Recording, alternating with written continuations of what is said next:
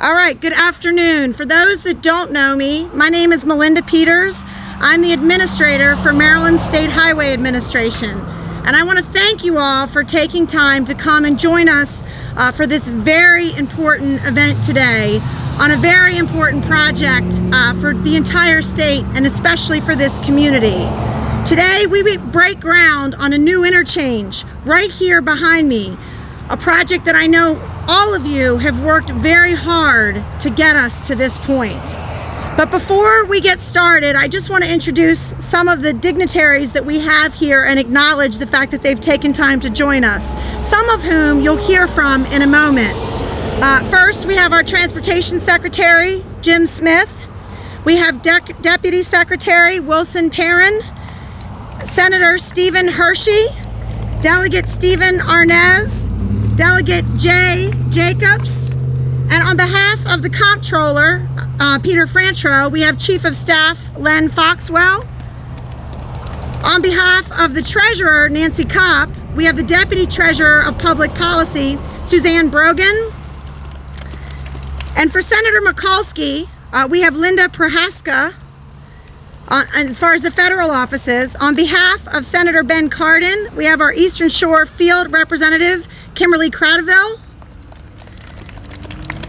And then we have our Queen Anne's County Commissioners. We have our President, Phil Domaville, um, um Domel, sorry, spelling issues here, as well as our other county commissioners, David Dunmyer, James Moran, Bob Simmons, and Dave Olds.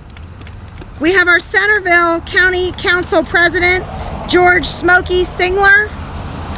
We have our council, county council vice president, little bit of traffic there, Timothy Mikulski. And I'm, it's my pleasure to have a group of women who have worked so hard for so long to get us to this point.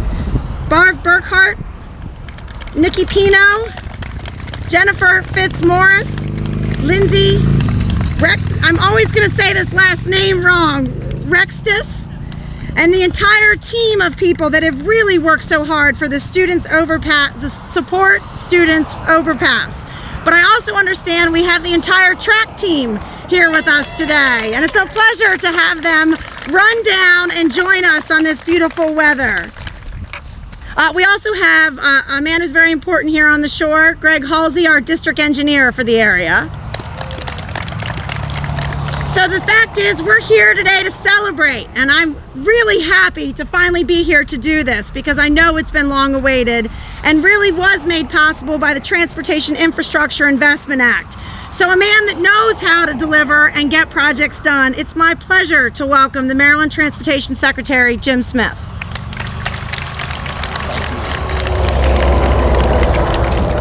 Thank you, Melinda, and uh, thank you for your leadership of the State Highway Administration I thank Greg for uh, his uh, great rapport with the communities that we serve uh, and it's really a pleasure to be here this afternoon. Um, you know, during these types of events, it's usually I come up here and I thank everybody for joining us for our groundbreaking event. Well, today is a, is a little different. I want to thank all of you for allowing us to join you in your celebration for your groundbreaking event because you are the ones that made it happen. I want to I really want to thank all of the elected officials and members of this very tight-knit community and to all the students and citizens of Queen Anne's County who joined together to form a tremendously successful advocacy group support overpass for students. You made a difference and congratulations to you. I mean you, you really your voices were heard and they were heard by the governor the lieutenant governor the comptroller the treasurer and by the department of transportation.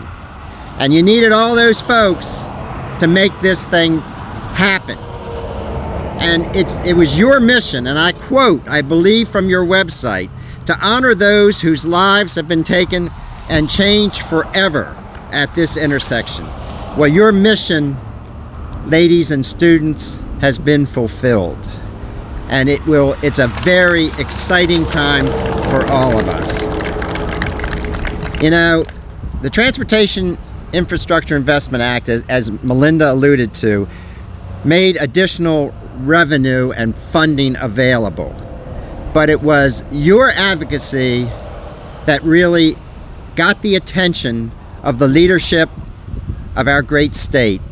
And that's how they committed $50 million to make your dream, which is a dream for everybody. It wasn't personal, it was personal, but it wasn't just for one person.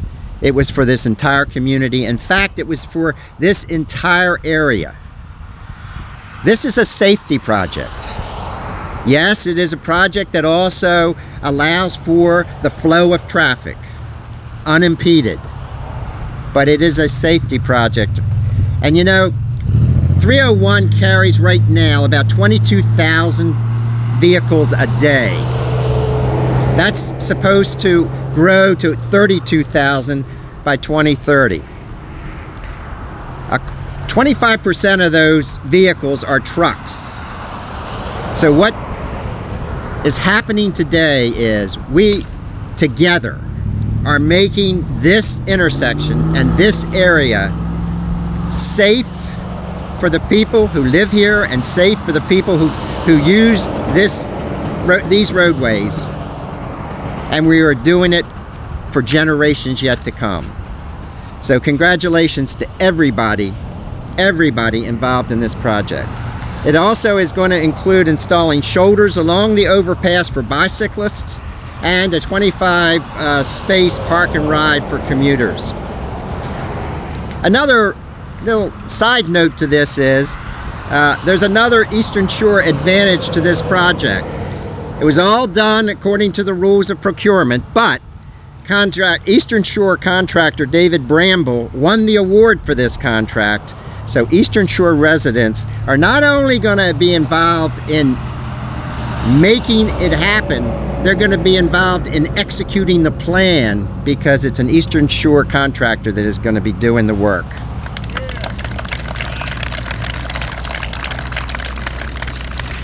You know, we've got we've got a lot of work yet to do. So we we we appreciate your patience. I mean, it's going to take a while, like a couple years, to get this uh, intersection uh, overpass completed. So stay with us, but you're going to see improvements on a weekly basis. Uh, and I, I, I, also want to thank, and I, I have thanked them, but I want to specifically thank the elected officials and, and, and, and the uh, commissioners uh, from Queen Anne's County because they made this their number one priority. And that makes a difference because when you're looking around the state to do projects, it, what the elected local officials believe is in the best interest of the people that they're responsible for, that makes a difference. So again, I, I, thank them for also making this their number one priority. I'm also very, very grateful to the leadership of Senator, uh, Senator Senators Mikulski and Cardin and Maryland's entire congressional delegation for their efforts because through their efforts we secured $8.2 million in federal funds to go toward this interchange. I thank Comptroller Peter Franchot and Treasurer Nancy Kopp for their ongoing support of transportation investments. They are really attuned to the difference that transportation makes to communities and to people and to the economy. Bottom line, however, thanks go out to the students from Queen Anne's High School who turned heartbreak into hope following the tragic death of their friend and classmate Connor Rice. In closing, I know that when the governor signed the Transportation Act into law in May of 2013, providing construction funding for this project, Barb Burkhart, Jennifer Fitzmaurice, Nikki Pino, Lindsay uh, Rextus, and Charlie Rextus handed him a small, groundbreaking shovel to remind him constantly of, the, of his commitment to make this project happen. And although the, governor deeply regrets his inability to be here today, he wanted me to let you know that he is a man of his word. And he asked me to present to you these groundbreaking shovels that are up, uh, they, they don't, they pale next to these shovels, let me tell you.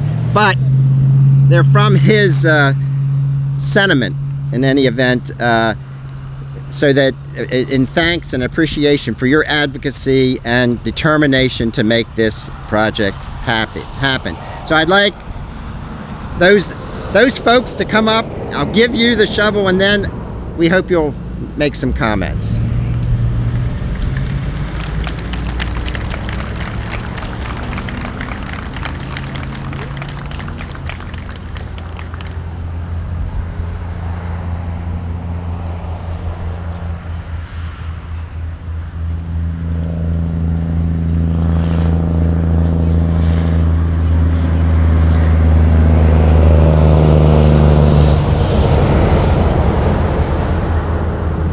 Thank you very much, Secretary Smith. It is my pleasure now to introduce our next speaker.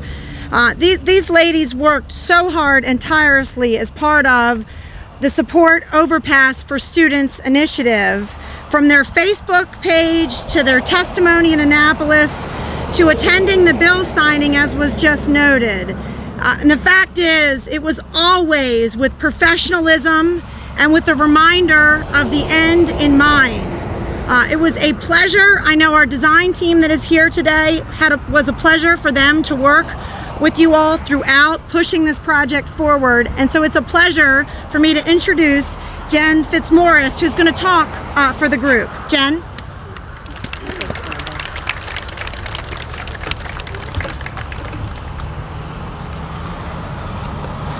Good afternoon.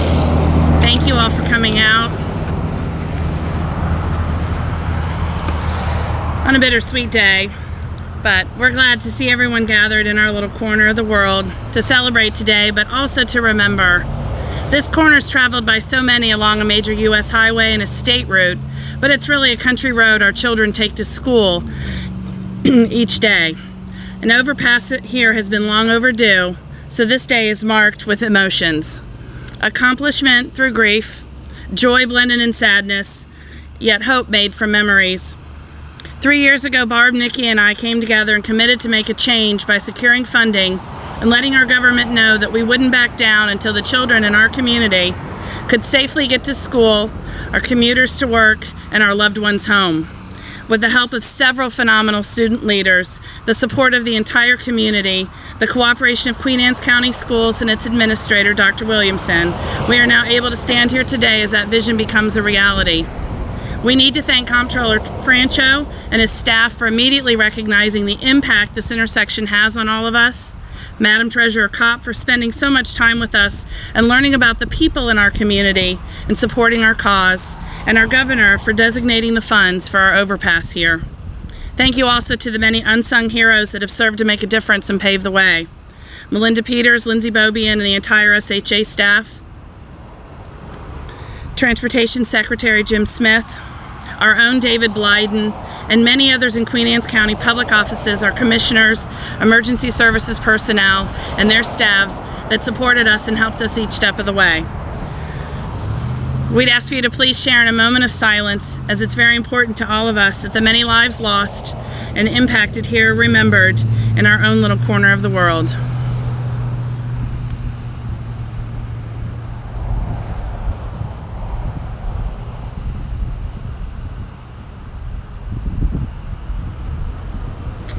Thank you. The relationships that have been built demonstrate the importance of coming together in and with government for the citizens of our community. We hope they continue with and for the children whose voices were such a crucial part of this project. Thank you all for your attendance today and your steadfast support.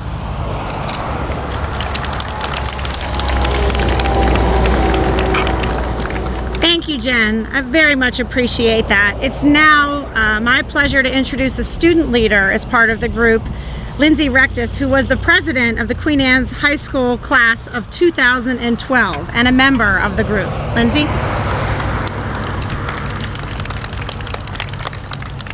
Well, good afternoon. It's beautiful September afternoon.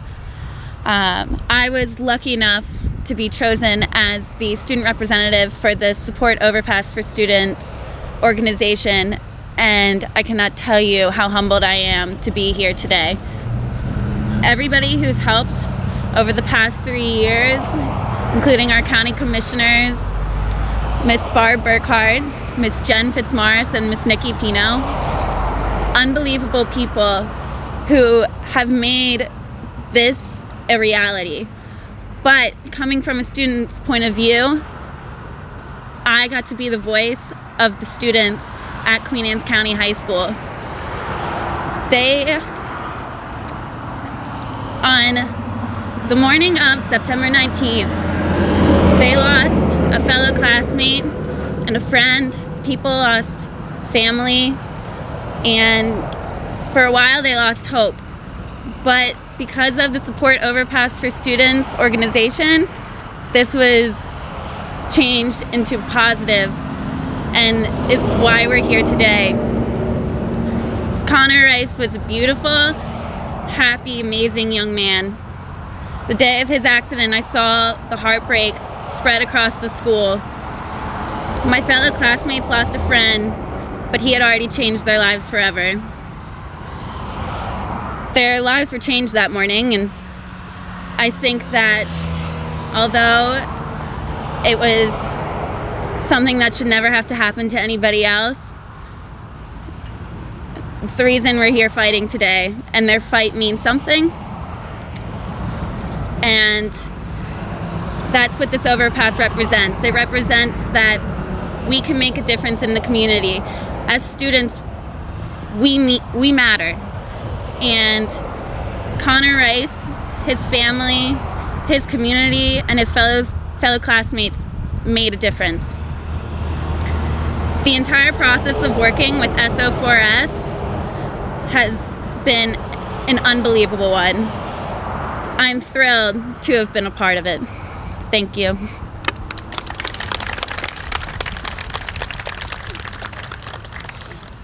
Thank you very much, Lindsay. It's now my pleasure, and please join me in welcoming Len Foxwell, Chief of Staff for Comptroller Peter Franchot. Len? walk away quickly. Thank you, Melinda, for that introduction. I have to say that uh, Comptroller Franchot and his office has had the privilege of working with Melinda Peters on a broad range of projects and contracts through the years. And I can attest standing here today that there is not a more responsive public servant in this entire state. And I don't believe there's a more effective transportation administrator anywhere in this region, if not the country, than Melinda Peters. And please. If Melinda's at the helm, we can we can rest assured here today that this project is going to be built on time, it's going to be completed on budget, and it's going to be done right. No pressure. We've laid the marker down. It is truly an honor to be here this afternoon on behalf of Comptroller Franchot. He truly wanted to be here this afternoon because this project means so much to him and because he will never ever forget the, the way in which this community came together in the face of such terrible tragedy to speak with such force and with such clarity in support of this life-changing intersection. And while an unavoidable scheduling conflict has made it impossible for him to be here today, he did ask me on his behalf to salute the leadership of Governor O'Malley and of you, Secretary Smith.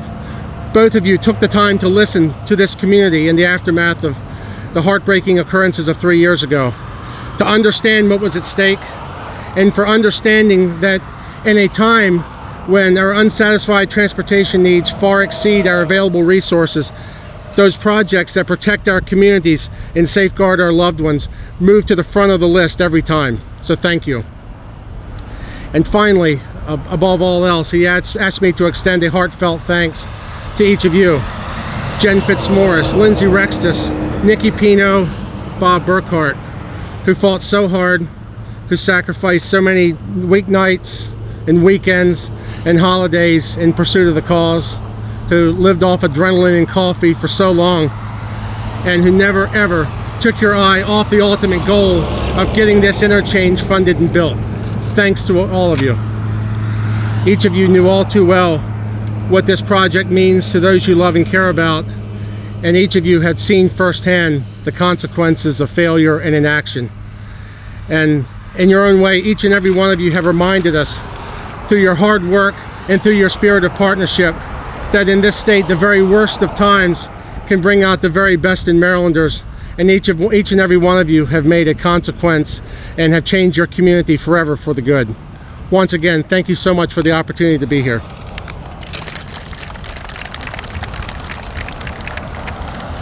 Thank you very much, Len. It's now my privilege to introduce Senator Hershey, who's worked tirelessly in this region to help get projects delivered. Senator Hershey? Thank you very much, and certainly on behalf of my delegation, Senator, I mean uh, Delegate Jacobs, Delegate Arentz, Delegate Smigiel, who couldn't be with us today, I'd also like to thank Secretary Smith and the wonderful staff and group of workers that you have working for you and most importantly working for our community. They've done an outstanding job and have been there every step of the way while we've gone through this project. You know, I'd like to to remember, I think it was the first meeting when when uh, Jen and Nikki and Barb came into our office and told us about what they wanted to do out here with a new overpass. And um, I think our response response was, you know, public works projects like this are like turning around an aircraft carrier. They're not very simple at all. Um, but I think if, if they focused on um, priorities and safety rather than politics and revenue, that they're going to have a great chance to do this. What I didn't expect was the dedication and commitment of these women and most importantly the students that they got to back them and be with them every step of the way in advocating for this project. Today is certainly a proud day for our community and even a prouder day for the support overpass for students. This advocacy group certainly showed what dedication and hard work can do and what they can bring towards a community. So I thank you very much.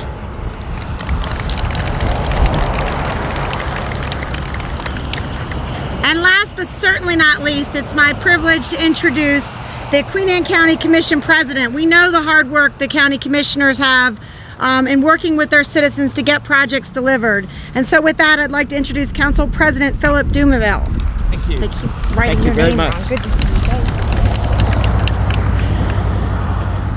Senator, you thought I uh, didn't have anything prepared. This overpass will make access to Centreville, the middle school, Queen Anne's County High School, for our students and parents, a safer cross. What has brought us all here today was a very sad fall day three years ago when we lost a young man who had his whole life ahead of him. It was on that day and the days to follow that a community rallied together, young and old alike, to say enough is enough. We will not stand idle while the members of our community and our young drivers are at risk every time they approach this crossover. This overpass is a great example of state level government listening to the concerns of local citizens. Perhaps even more impressive was the grassroots efforts that were launched the weeks that followed the tragic loss of Connor Rice. Support Overpass for Students became an effort that everyone wanted to be part of.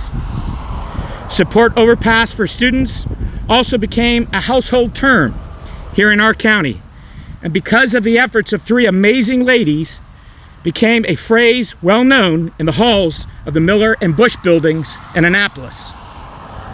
These three amazing women share a large portion of the credit for this project that has moved from being just an idea to becoming reality.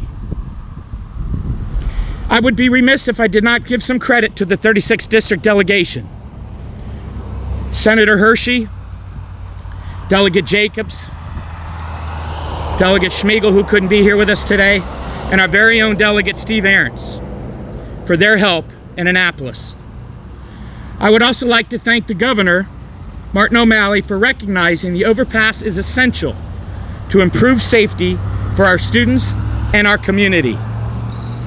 This has been a long time coming, and we're grateful community. To the folks of Maryland State Highway Administration, thank you very much from the bottom of our hearts.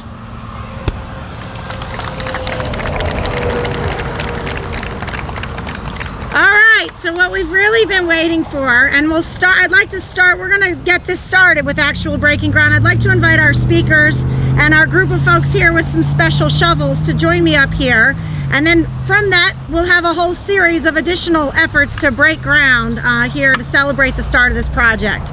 I also just want to note one thing, there is a cooler with water. I know we've been out here in the heat, so feel free to help yourself to some water. Are we throwing it at Okay, so everybody. You all done with your pictures? Yeah. Okay, let's do the countdown then. Five, four, three, two, one. Voila!